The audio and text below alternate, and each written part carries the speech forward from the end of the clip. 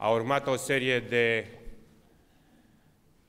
pași de maximă importanță pentru a recupera o istorie care timp de decenii nu a fost asumată și care practic a fost ignorată.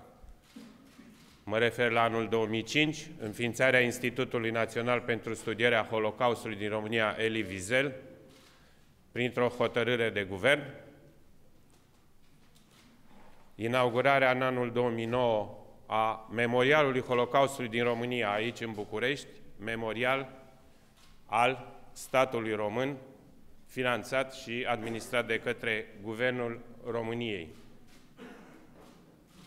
Mă refer de asemenea la anul 2012, atunci când administrația prezidențială și Guvernul României au achiesat ideea unui proiect de țară, organizarea unui Muzeu Național de Istorie a Evreilor din România și a Holocaustului. Proiect care urmează să reflecte rolul comunității evreiești din uh, țara noastră la procesul de modernizare a României.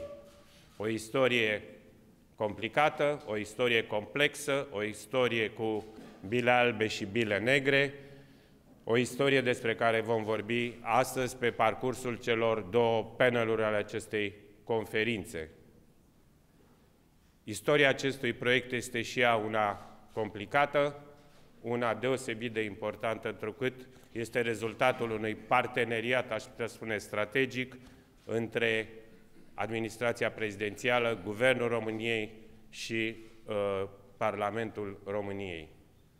Nimeni nu este perfect, orice proiect are avansuri, are stagnări, ne aflăm în faza în care proiectul muzeal, ca spațiu al memoriei și al educației, urmează să se uh, organizeze și să uh, funcționeze în România.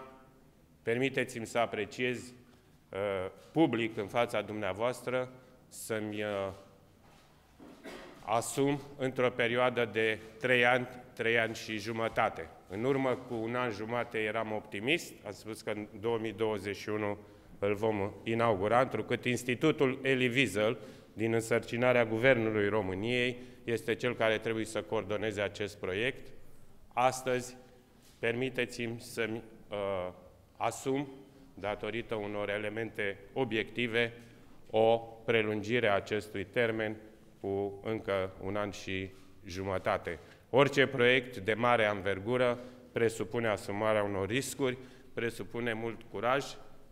Vă asigur că acest proiect uh, se va Uh, materializa și în anul 2022 uh, veți fi din nou invitații noștri ai Guvernului României pentru a participa la deschiderea acestui muzeu, care nu este altceva decât un muzeu al civilizației, un muzeu care alături de Muzeul de Istorie al României și de Muzeul de Istorie al orașului București ar putea să alcătuiască ceea ce permiteți-mi să denumesc metaforic, uh, istoria României, istoria modernă, relațiile de coabitare, relațiile de comunicare dintre majoritatea românească și comunitatea evreiască.